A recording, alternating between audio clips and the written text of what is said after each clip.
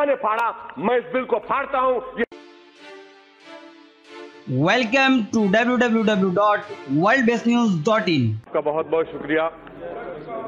میں اس بل کی مخالفت میں کھڑا ہوں اور محترمہ میں آپ کو ایک بات یہاں پر ایوان کو بتانا چاہوں گا کہ جب ہم نے سمویدھان کو بنایا تھا جب بن رہا تھا سمویدھان اور اس وقت میں اس وقت میں کتنی گراوٹ ہو گئی ہے۔ ذہنی طور پر اخلاقی طور پر، تہذیبی طور پر، دماغی طور پر، نفسیاتی طور پر۔ جب سمویدھان کا پریامبل بن رہا تھا، اکتوبر سترہ، نائنٹین فورٹی نائن کو میڈم، تو اس وقت کے ایم پاٹھک رکن تھے کانسٹیٹیوٹ اسمبلی کے۔ انہوں نے کہا تھا کہ پریامبل کی شروعات بھگوان کے نام سے ہوگی یا خدا کے نام سے ہوگی۔ آپ کو جان کر حیرت ہوگی کہ راجندر پرساد صاحب نے جا کر کہا کہ نہیں، سمویدھان کی شروعات بھگوان یا خدا کے نام سے نہیں ہو سکتی۔ ووٹنگ ہوئی۔ ووٹنگ میں کے ایم کامت صاحب ہار گئے۔ جب سمویدھان کا پریامبل لکھا جا رہا تھا، تو اس کو بھگوان خدا کے نام سے ہی لکھا گیا۔ اب وہ وہ اونچائی۔ اور یہ پستی دیکھیے آپ کہ ایک قانون ایسا بنایا جا رہا ہے جو مذہب کی بنیاد پر بنایا جا رہا ہے۔ مجھے شکوہ اس بات کا نہیں ہے، غم اس بات کا نہیں ہے کہ آپ نے مسلمان کو نہیں رکھا۔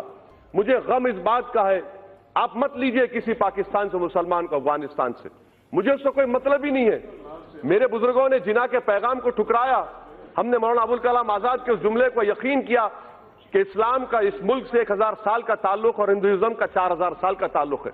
مجھے غم اس بات کا ہے کہ آج حکومت کو جس نے سمویدھان پر اوت لیا، آج اسلام سے مسلمانوں سے اتنی نفرت کیوں آخر کیا ہے؟ ہم انسان ہیں، اس ملک کے باعزت شہری ہیں۔ آخر اس نفرت کا، اس ڈسکریمنیشن کی وجہ کیا ہے آپ میں؟ آپ مت لیجیے کسی کو۔ میڈم، میں یہ کیوں کہہ رہا ہوں؟ بتا رہا ہوں آپ۔ میں جاننا چاہوں گا ہوم منسٹر صاحب سے کہ اس بل کو این آر سی کے نظر سے دیکھنے کی ضرورت ہے۔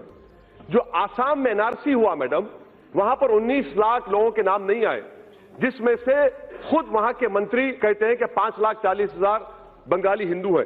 میں ہوم منسٹر جاننا چاہ رہا ہوں کہ سیکشن فائیو کے تحت، یہ جو سیکشن ہے نا میڈم سیکشن سکس اے کے تحت جتنے بنگالی ہندو ہیں، ان پر جو مقدمہ چلے گا، وہ ابیٹ ہو جائے گا۔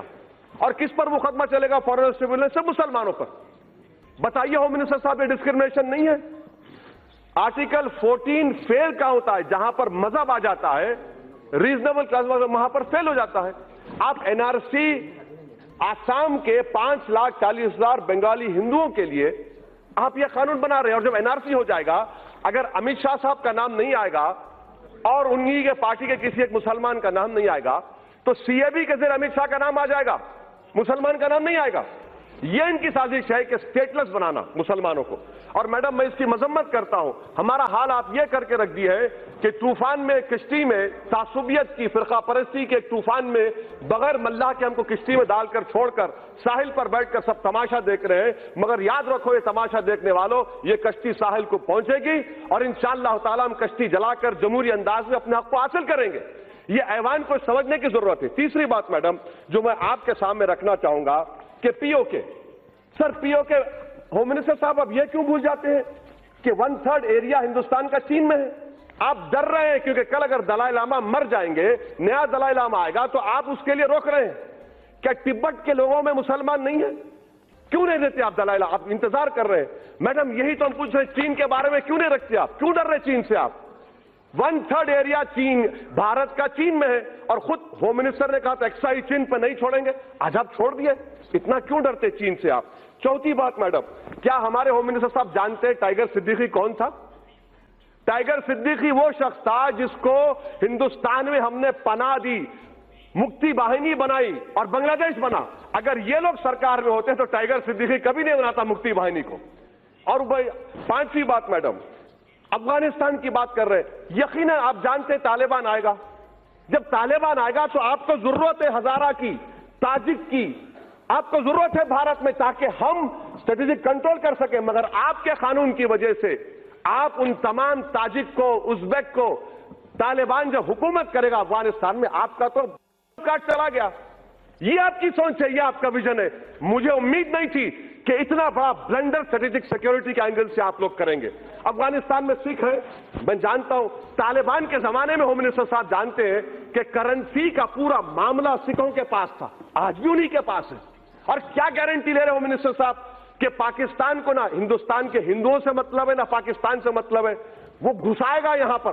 آپ کیسے روکیں گے؟ اور کیا آپ بتائیں گے میڈم کہ کتنے لوگ ہیں جن کو آپ سٹیزن شپ دینے جا رہے ہیں؟ نمبر بتائیے اسٹیٹ وائز بتائیے۔ کہو کہہ رہے ہیں۔ میڈم، اور ایک بات، یہ قانون جو بنایا جا رہا ہے، اس لیے بنایا جا رہا ہے کہ دوبارہ پارٹیشن ہو۔ یہ قانون تو ہٹلر کے اس قانون سے ہی بدتر ہے۔ اس قانون سے ہی بدتر ہے۔ کہاں لا کر چھوڑ دیے بھارت کو آپ؟ اگر آپ نے سمویدھان پرو کیا تھا، ہم مسلمانوں کا گناہ کیا ہے؟ کہ مسلمان ہیں؟ مجھے پاکستان سے مت لیجیے، افغانستان سے مت لیجیے۔ مگر اسلام کے تعلق سے، مسلمانوں کے تعلق سے اس احمان کو سوچنا پڑے گا۔ آپ جو میسج دے رہے ہیں، آپ کی وجہ سے پولیٹیکل مارجنائزیشن ہو گیا مسلمانوں کا۔ آپ تو ان کو دبا رہے ہیں۔ ان کے سینے پر پیر رکھ کر آپ کہہ رہے ہیں کہ اب تو اس ملک کا باعث شہری نہیں بلکہ تو اسٹیٹلس بنایا جائے گا۔ اسی لیے میں کہہ رہا ہوں میڈم کہ یہ ایک اور ایک پارٹیشن ہونے جا رہا ہے میڈم۔ میں آپ کو کہنا چاہ رہا ہوں، انگریزی میں کہاوت ہے۔ کہ those do not learn from history are content to be repeated Sri Lanka کے دس لاکھ ٹیمیلینس مدراس میں تمل ناڈو میں ہندو نہیں ہے کیا ختم کرو نیپال میں مدیسی نہیں ہندو نہیں ہے بتائیے اچھا میڈم یہ ہوم منسٹر صاحب بتا دیجیے کہ میانمار میں چین کاچین ارحکان ارے چند سال تک آل انڈیا ریڈیو پر کاچین کا ریڈیو سروس چلتا تھا یہ چین لوگ کرسچن ہیں میانمار کے آپ انتظار کر رہے ہیں، کیا انتظار کر رہے ہیں؟ کون سا اسٹریٹجی آپ کی؟ ہر اعتبار سے فیلئر ثابت ہوگا میڈم اسی لیے میں اس بل کی مخالفت کرتا ہوں۔ یہ ہندوستان کے سمویدھان کے خلاف ہے اور یہ ان لوگوں کی توہین ہے جنہوں نے اس ملک کو آزاد کروایا تھا سن ستاون کی جنگ آزادی ہو یا انیس سو دس میں۔ مہاتما گاندھی کیسے مہاتما بنے معلوم میڈم انہوں نے ساؤتھ افریقہ کے نیشنل رجسٹر کارڈ کو پھاڑ دیا تھا۔ پھاڑ دیا تھا، جلا دیا تھا۔ اسی لیے جب مہاتما نے پھاڑا، میں اس بل کو پھاڑتا ہوں، یہ ہندوستان کو توڑنے کی کوشش کر رہا ہے۔ ویڈیو اگر اچھی لگی تو پلیز ویڈیو کو لائک کریں اور اپنی رائے کمنٹ میں ضرور دیں۔ اسی کے ساتھ، گڈ بائے۔